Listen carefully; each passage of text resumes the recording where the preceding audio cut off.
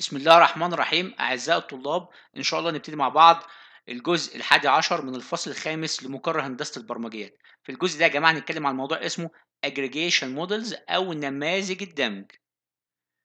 ساعات يا جماعة بيسموا ال aggregation models نماذج الدمج أو ال combination والمقصود بها إيه؟ مقصود بها إن ال class الواحد من الممكن أن يتكون من عدد من الكلاسات الأخرى. يعني ممكن class يتكون من عدد من الكلاسات اللي هم في مجموعهم أو تكوينهم يكونوا ال class الرئيسي. ال class الأساسي. طب نقرأ مع بعض.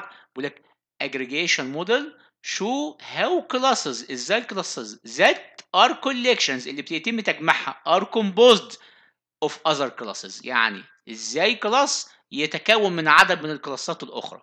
ناخد مثال؟ ناخد مثال. عندك مثلا class اسمه ال patient record يعني سجل المريض. طيب سجل المريض ده class. طب في إيه؟ بيقول لك من الممكن يتكون من classes فرعية. زي إيه؟ يعني إحنا كلنا متفقين إن ال patient record لازم يكون فيه إيه؟ معلومات عن ال patient صح؟ ومعلومات كمان على ال consultation الاستشارة اللي بيقوم بيها. طب ما إحنا ممكن يا جماعة نعتبر إن ال patient ده كمان class وال consultation ده كمان إيه؟ class. يبقى ممكن نقول إن السجل أو ال patient record أو هذا ال class الوحيد يتكون من classes فرعية اللي هي ال patient وال consultation جميل. يبقى اذا في الحالة ديت قدرنا نقول إن في عملية اجريجيشن أو دمج ما بين الاثنين دول مع بعض. شايفين؟ عشان يكونوا مين؟ عشان يكونوا أيوه class واحد اللي هو اسمه ال patient record طيب أنت بترسم وبتبين كمان إن في علاقة ما بينهم.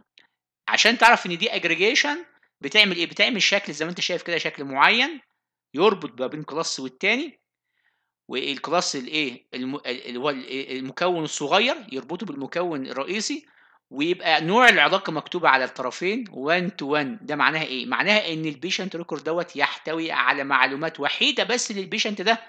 يعني مش أكتر من patient يبقى أمال يبقى patient record إزاي؟ يبقى سجل مريض واحد إزاي؟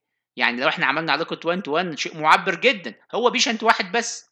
طيب 1 to many معناها إيه؟ معناها ممكن يكون السجل دوت يا جماعة في أكتر من consultation في أكتر من استشارة. يعني هذا المريض قام باكتر من استشارة لكن مسجلة في ال record بتاعه في ال patient record اذا هذه الايه هذه العلاقات توضح الأجزاء الفرعية ديت. إيه علاقتها بالجزء الرئيسي؟